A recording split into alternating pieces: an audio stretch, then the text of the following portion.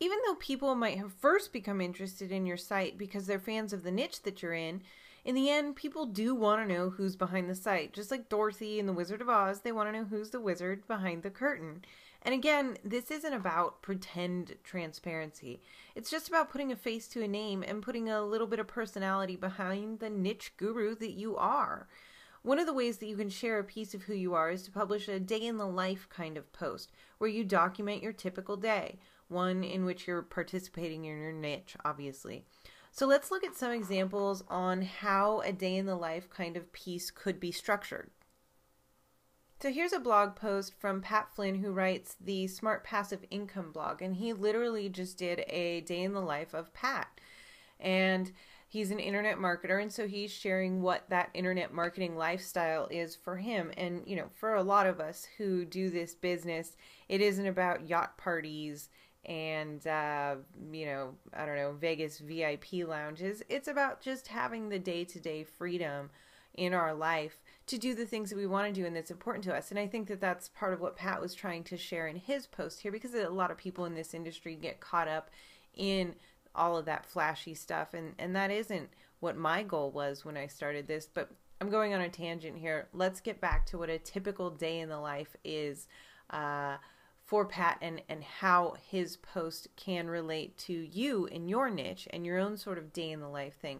Again, it's got to be a day where you're actually participatory in your niche, of course. So if it's something like mountain biking that you only do on the weekends, then you would obviously want to create this kind of post for those particular days, not the days when you maybe go to your nine to five and wait until you can go mountain biking, right? So he starts up with when he wakes up in the morning. He talks about uh, his baby, he talks about his wife, and he talks about he makes breakfast and the kind of things that he's doing for his own health in terms of what he's eating. Not specific to internet marketing, is it? But the readers of his blog are still interested in what he's up to in all aspects of his life. And that is a really great example of what this kind of post is about. It isn't about oh, I'm going to leave that part out because that's not about internet marketing and that's what his blog is centered on. No, it's about uh, leaving all of those details in so that people can get a feel for who you are, in this case, for who Pat is. So he talks about uh, what he prepares for breakfast, and then it's playtime with his baby, and then it's time for mom to wake up, and then they do more playtime, lunchtime, nap time, and then he goes and does his actual work time later on in the afternoon. And he says that he occasionally checks in a little bit earlier than that, but his real sit down work mode is later on in the afternoon. This is where we get to the real uh, him participating in his niche, in his marketplace point, which for him is the internet marketing point. So he goes into his office. He talks about how he's in work mode. He shuts the door to his office. He turns off office phone. He turns off Twitter and Facebook. He turns off Skype. And those are interesting details for people in any niche, not specifically that he turns off Skype, but these are the the four or five things that he does to prepare himself for doing that work in his niche. So again, mountain biking, it might be that you get your gear on and then you drive out to the place where you're mountain biking and you fill up your canteen and, and that kind of thing. Uh, but he talks about his sort of little ritual about how he gets into the zone to be a part of his niche and, and to start participating in it. So, again, that is uh, a great look at how somebody transitions from their normal life, which is what this post is about. People want to know about your normal life, but also how he transitions into his actual work or niche time. He talks about the things that he does not do during that time and the things that he does do during that time uh, which may or may not apply to your particular marketplace, but it's something to consider. And then he talks about his office or his workspace, and that's another really great thing that you can also talk about when you're doing your niche uh, day in the life kinds of posts. What sort of workspace do you have? What tools do you use? He's got a picture in here for a visual. That's always good. Visuals are good. He talks about after that time they hang out as a family. He has dinner. He talks more about the kinds of food that they're eating. They relax as a family. They put the kid to bed. he works out in the evening. And then sometimes in the evening, he'll go back to his niche, he'll go back to his internet marketing, or sometimes they'll just watch TV and kind of hang out. And that's his typical day. And I mean, that's really interesting for somebody who aspires to this lifestyle and somebody who aspires to be really involved in backpacking or really involved in tomato growing or really involved in internet marketing want to know those kinds of details about the people who already are really involved in those niches. So I think that this was a really great example of a day in the life post. Uh, and one that we can all learn a lot from as far as doing those kinds of posts ourselves. Now, here's another one. This is uh, this is funny, and he didn't mean it seriously. This is Merlin Mann, who uh, cracks me up, but it's another kind of look at one of these day in the life sort of posts or ways that you can share your your who you are and how you involve yourself in your niche on a day-to-day basis. So there was actually a video that I was looking for from um, Amish Shah of the Magic Bullet System where they did a tour of their Digispace offices, but I couldn't find that video.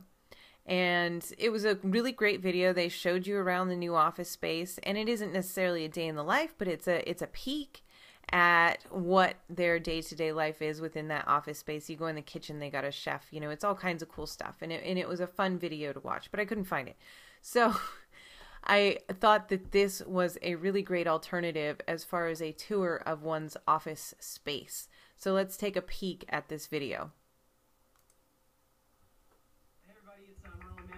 internet, and uh, I wanted to do another one of my screencasts on the um, minimalist uh, environment that I've created for myself so that I can get my work done. I have to have a distraction-free environment in order to uh, get Eye of the Tiger for the um, important work that I do. So I guess the best example is to start with my um, this is my monitor where I, I type stuff.